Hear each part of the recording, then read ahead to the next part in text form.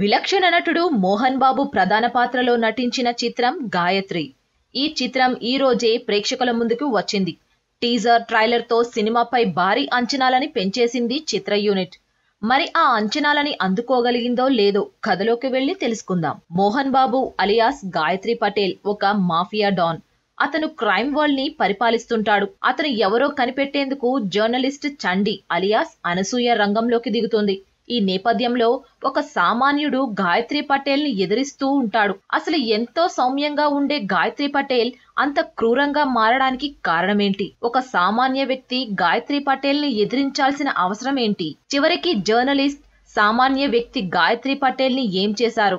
అసలు విష్ణు శ్రేయ మధ్య రిలేషన్ ఏంటి అనేది తెలియాలంటే సినిమా చూడాల్సిందే. ఇది ఒక పొలిటికల్ డ్రామాగా కొనసాగుతుంది. ఇందులో మోహన్ బాబు మరొకసారి డైలాగ్స్ పవర్ చూపించారు. ప్రస్తుత రాజకీయ పరిస్థితులపై మోహన్ బాబు చెప్పిన కొన్ని స్ట్రాంగ్ డైలాగ్స్ అభిమానులను ఆకట్టుకుంటాయి. కమెడియన్ ఆలీ మరియు అనసూయ మధ్య జరిగే కొన్ని సరదా సన్నివేశాలు మంచి కామెడీ పండిస్తోంది. విష్ణు శ్రేయ అలాగే ఇతర నటీనటులు తమ పాత్రలకి తగ్గట్టు బాగానే నటించారు.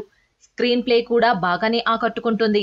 తమన్ మ్యూజిక్ సినిమాకి హైలైట్గా నిలిచింది. అయితే అక్కడక్కడ చిన్న చిన్న లాజిక్స్ మిస్ అవ్వడం సినిమాకి ఓ మైనస్ పాయింట్గా చెప్పుకోవచ్చు. మొత్తంగా చూసుకుంటే సినిమా బాగానే ఆకట్టుకుంటుంది. మోహన్ బాబు గాయత్రి ద్వారా మరొక హిట్ కొట్టేశారని చెప్పుకోవచ్చు.